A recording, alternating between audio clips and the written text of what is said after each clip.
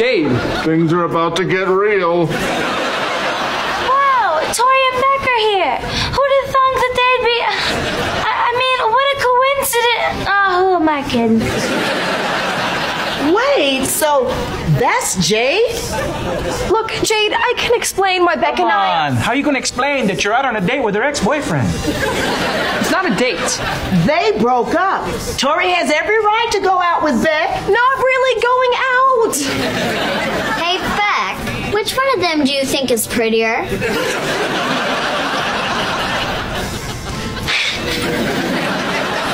don't you go check your mom's pulse?